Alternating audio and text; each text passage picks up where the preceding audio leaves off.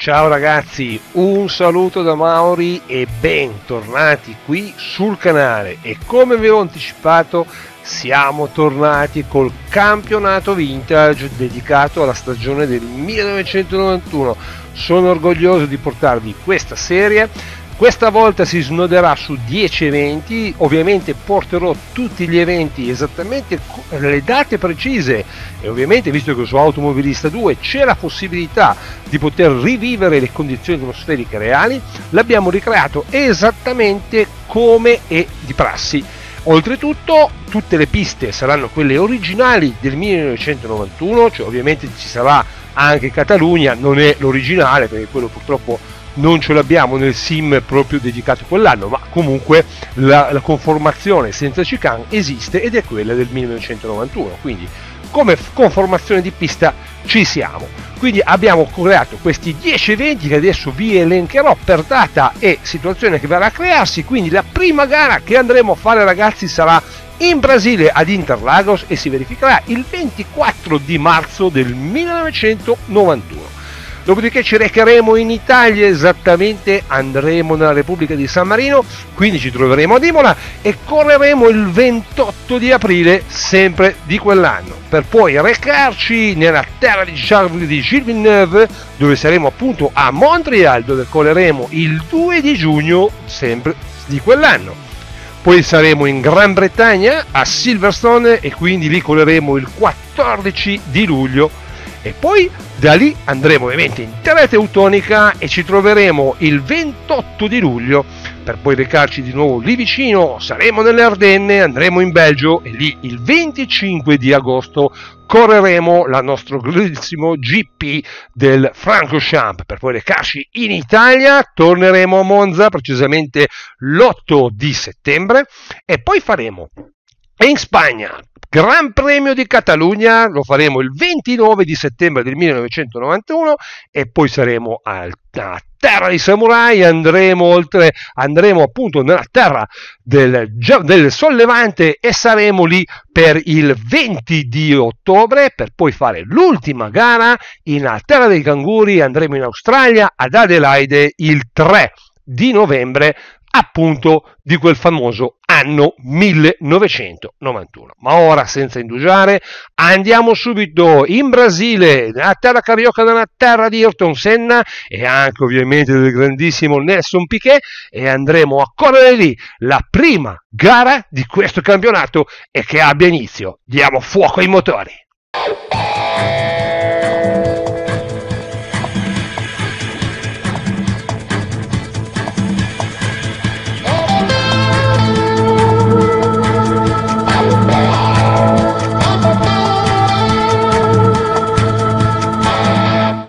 Eccoci nell'autodromo José Carlos Pace di San Paolo, comunemente chiamato ovviamente Interlagos. Questo circuito fantastico che appunto in questa occasione è la gara del 24 marzo del 1991.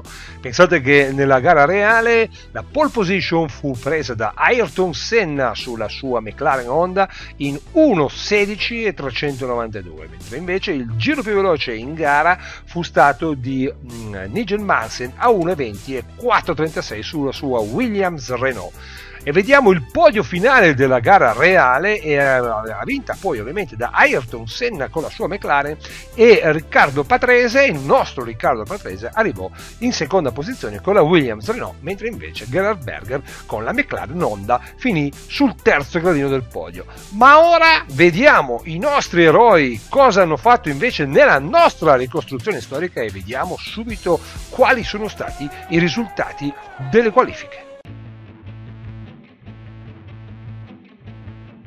Ed ecco la griglia di partenza. In prima posizione abbiamo Nigel Mansell al bordo della sua Williams Renault e subito affiancato dal suo compagno di squadra Riccardo Patrese e addirittura vediamo qui che Mauri è riuscito con la sua McLaren Honda a piazzarsi in terza posizione. E ovviamente abbiamo Alan Prost in quarta posizione a bordo della sua Ferrari fantastica. E ovviamente ora vediamo la quinta posizione il Beniamino di casa. Purtroppo si è piazzato soltanto in quinta posizione. E dietro ovviamente via via tutti gli altri pronti ora ad alzare i motori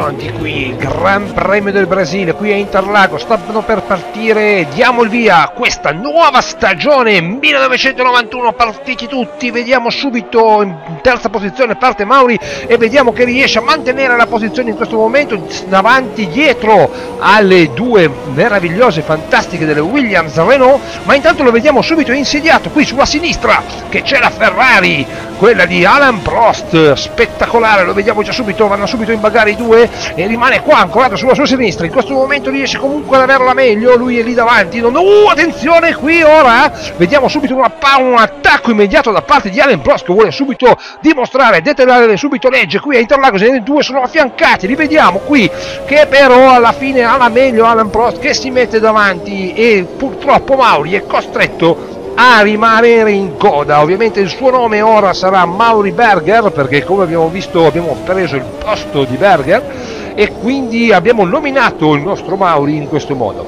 Ma ora rimaniamo qua, intanto dietro siamo braccati alti da Nelson Piquet e ovviamente rimane posizionato dietro. Intanto qua vediamo sfociare tutte le vetture che sono tutte bellissime veramente molto belle eh, con queste nuove aerografie veramente fatte benissimo queste nuove livree. Ho notato anche i caschi sono stati tutti tutti bellissimi, sono esattamente quelli originali. Ma intanto rimaniamo qua ancorati alla gara, siamo in questo momento appunto secondo giro, intanto qua si avvicina Maure dall'Emprost e cerca subito di riprendere la posizione, ma vediamo se riesce in qualche modo qua a poter magari scalfire la potenza di tale codesto pilota, ma ora vediamo, qui va a prendergli tutta la scia, vediamo qua se cerca un attacco, si guardano, si sfidano i due e qui Mauri cerca quasi di mettere le ruote davanti, ma oh attenzione!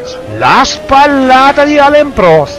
Si è fatto sentire la presenza. Siamo tornati nel 1991 quando le spallate erano era ordine del giorno. Altro che spaventarsi per un po' di scaramuccia. Questa è la vera Formula 1 ragazzi. Questa è la Formula 1 reale quella, quella dove c'erano le batoste.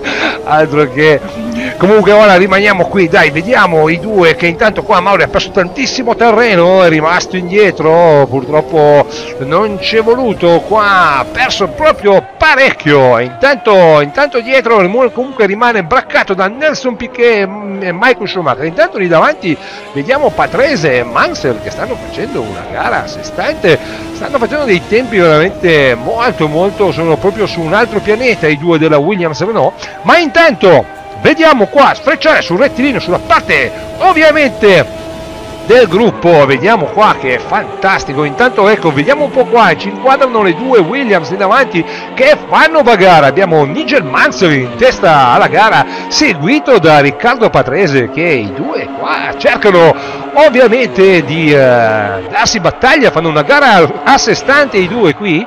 E intanto vediamo Patrese il nostro Riccardo Patrese che cerca di fare un attacco qua su Nigel Mansell sul leone baffuto. E qua attenzione riesce a mettergli le gomme davanti avanti e ci prende la prima posizione. Intanto torniamo indietro qua, stiamo tornando su Mauri, vediamo intanto, slittiamo ovviamente alla quinta, al quinto giro perché purtroppo non è più capitato nulla di particolare, ma ora qua addirittura slittiamo al sesto e siamo pronti per andare a fare il nostro pit stop. Ovviamente ricordo che il pit stop prevede sia il cambio di gomme e anche il riempimento di benzina come era ovviamente in quel periodo. Intanto vediamo che il tempo comunque continua a rimanere questo nuvoloso speriamo non in pioggia. In realtà il tempo durante il, la gara originale appunto era questo nuvolo un pochettino d'umidiccio ma non c'era prevista pioggia. Quindi dovremmo rimanere in questa posizione. Ora vediamo qua, siamo al cambio, abbiamo fatto il cambio gomme, rientriamo ora, eh? vediamo qui davanti, abbiamo un certo Alex Caffi, uh,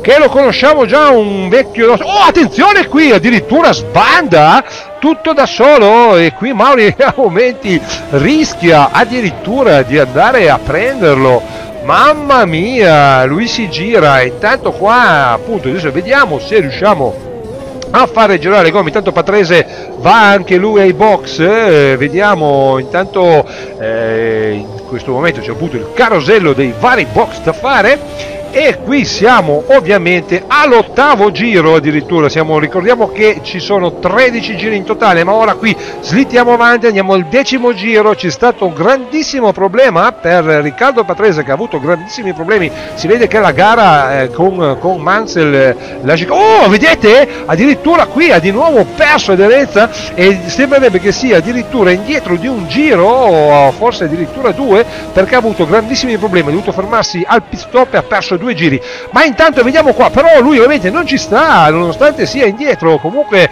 deve recuperare posizioni. E qui cerca addirittura di insediare Mauri cerca di riprendersi la posizione su di lui ma anche se è indietro vuole assolutamente a tutti i costi far vedere la sua potenza la sua magnificenza come pilota e come vettura. E qui cerca di insediare Mauri ma intanto ovviamente questa è una situazione anche diciamo di disagio da par Mauri Berger perché ovviamente è costretto a una bagarre forse anche inutile. Attenzione qui addirittura di traverso e lo costringe a queste, a queste situazioni che sono veramente un po' al limite ma ora vediamo qua addirittura si fa vedere e sbeffeggia di brutta maniera Mauri Berger. Qui Patrese vuole comunque nonostante tutto far vedere la sua supremazia ma qui Mauri non ci sta. Cerca un attacco la parte interna riesce a mettersi di nuovo davanti a Patrese. Mamma mia! Ora vediamo qui mamma mia ragazzi che situazione. Intanto vediamo siamo comunque all'undicesimo giro.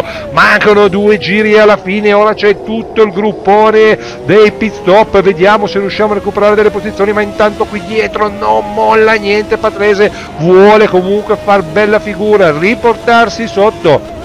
E intanto qua sotto il pubblico del Brasile passa sul traguardo Mauri e si riporta addirittura in terza posizione ma qui lo insidia e cerca, lo porta allo sbaglio quasi ma intanto lì davanti abbiamo Allen Prost che conduce la gara in prima posizione seguito da Mauri che in questo momento è in seconda addirittura perché ovviamente c'è il pit stop di Senna e ovviamente anche il Beniamino di casa che è partito in quinta posizione ragazzi in questo momento si trova in terza posizione quindi oh qui ora slitta aspettiamo, siamo all'undicesimo, siamo all'undicesimo giro, intanto qui dietro abbiamo, uh ragazzi è arrivato anche Senna e c'è sempre Patrese, ma qui davanti a noi abbiamo un doppiato in questo momento che ci può dare fastidio, attenzione no, ci lascia passare, meno male, e intanto qui, mamma mia, ne ha approfittato anche Senna, Senna si trova, ha superato ovviamente Patrese. E qui attenzione duello tra le due meravigliose William McLaren Honda delle due vetture fantastiche che abbiamo qui davanti a noi.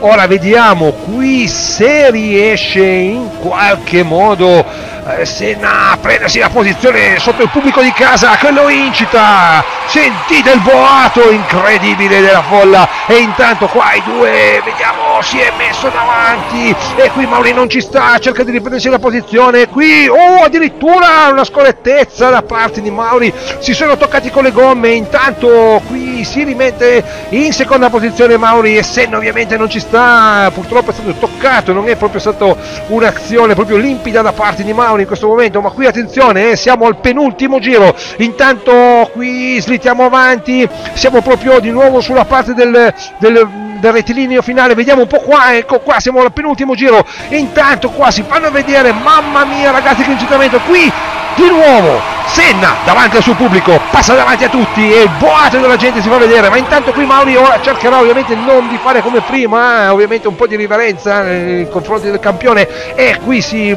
tiene dietro, ma intanto rimane in terza posizione. Intanto un giovane Michael Schumacher inizia a farsi vedere, lo vediamo dietro gli specchietti che cerca anche qua lui di insidiare in qualche maniera e davanti addirittura ha passato mm, il suo compagno di squadra Nelson Piquet.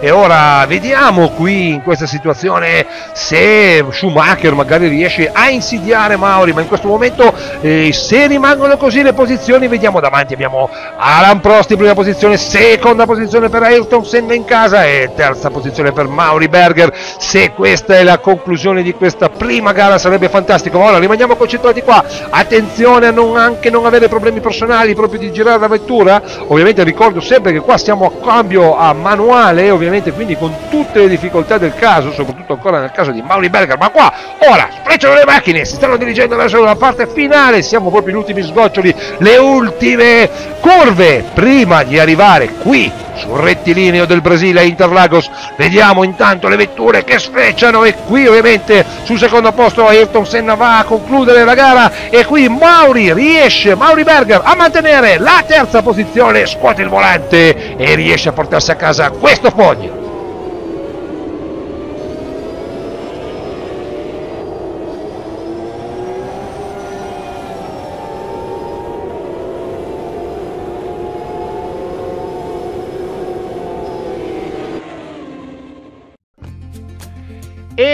Questa gara si conclude con Allen Prost che va a prendere i suoi primi punti, i suoi 25 punti, Ayrton Senna 18, Mauri 15, Michael Schumacher 12, Nelson Piquet 10, via via tutti gli altri. Ovviamente ragazzi purtroppo non ho potuto fare eh, la vera, la vera, i, i veri punti che si davano nel 1991 perché questa possibilità non c'è. Quindi ho mantenuto il, il punteggio regolare che c'è oggi nella Formula 1. Bene, questo è quello che riguarda i punteggi e ovviamente poi andiamo anche a vedere ciò che riguarda ovviamente dopo questa gara, ovviamente per ora non ci sono ancora altre situazioni di sorta e quindi eh, pian piano vedremo poi la classifica in che direzione andrà. Bene ragazzi, io spero che questa prima puntata di questo Formula 1 di questa stagione di Formula 1 del 1991 vi sia di gradimento e vi aspetto per la prossima gara che si svolgerà a San Marino, quindi andremo appunto in Italia, nella Repubblica di San Marino ad Imola. E quindi con questo io non posso altro che salutarvi, rinnovarvi ovviamente un like, un'iscrizione al canale che supporta tutto questo lavoro e tutta questa passione che cerchiamo di vivere insieme. Con questo è tutto e ci vediamo alla prossima. Ciao da Mauri.